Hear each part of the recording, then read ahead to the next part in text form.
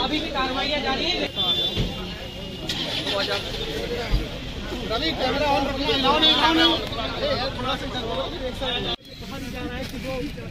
घर में उसका कैश मिला था वो एक दरअसल एक वेयर हाउस के रूप में उसका इस्तेमाल होता था नोटों को वहाँ कानपुर के अरबपति इत्र कारोबारी पीयूष जैन की आखिरकार गिरफ्तारी हो गई है।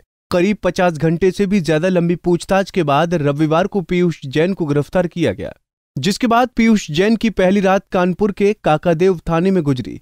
कारोबारी पीयूष जैन सोमवार की सुबह एक कमरे में कंबल ओढ़कर फर्श पर सोता हुआ दिखाई दिया। कारोबारी को थाना परिसर में बने महिला हेल्प डेस्क के केबिन में सोने के लिए जगह दी गई थी। इसके बाद कारोबारी पीयूष जैन को पुलिस की कड़ी सुरक्षा के बीच मेडिकल चेकअप के लिए ले जाया गया, जहाँ से उसे कानपुर कोर्ट में पेश किया गया। बताया जा रहा है कि स्पेशल मजिस्ट्रेट की कोर्ट में कारोबारी पीयूष जैन की पेशी के डीजीजीआई अहमदाबाद की टीम ने ट्रांजिट रिमांड भी मांगी है कहा जा रहा है कि जो जौनपुर में जिस घर में उसका कैश मिला था, वो एक दरअसल एक वेयर हाउस के रूप में उसका इस्तेमाल होता था।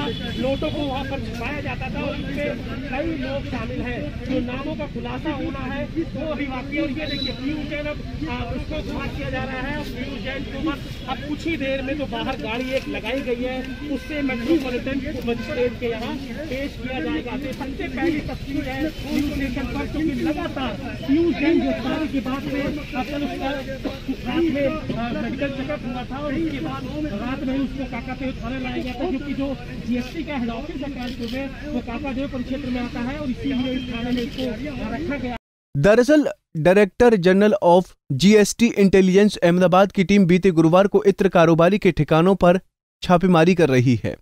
चार दिनों की छापेमारी में उसके घर की दीवारों और अलमारियों ने, टीम ने दो सौ सत्तावन करोड़ की नकदी बरामद की है। अब तक हुई छापेमारी में भारी मात्रा में सोना चांदी भी बरामद किया गया है। आपको बता दें कि जीएसटी विजिलेंस टीम ने इत्र कारोबारी पीयूष जैन के कन्नौज स्थित घर पर बरामद हुई रकम की गिनती शुरू कर दी है। कानपुर की ही तर्ज पर यहाँ भी एसबीआई की टीम सोमवार की सुबह नोट गिनने वाली तीन मशीन लेकर पीयूष जैन के मकान पर पहुँचती हैं। पीयूष जैन के घर में भी दो दिन पहले इसकी खुद की ही नोट गिनने वाली एक मशीन पहले ही मिली थी। अब उन सभी मशीनों की मदद से नोट गिनने का काम शुरू हो चुका है।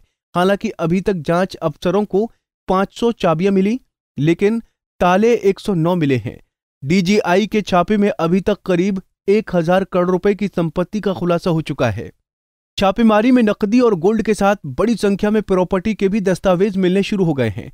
अभी तक कानपुर में चार, कन्नौज में सात, मुंबई में दो, दिल्ली में एक और दुबई में दो प्रॉपर्टी की बात सामने आई है।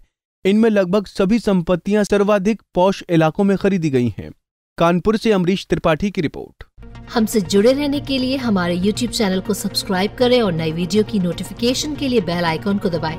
अगर आप ये वीडियो Facebook पर देख रहे हैं तो लाइक ज़रूर करें और ज़्यादा से ज़्यादा शेयर करें। धन्यवाद।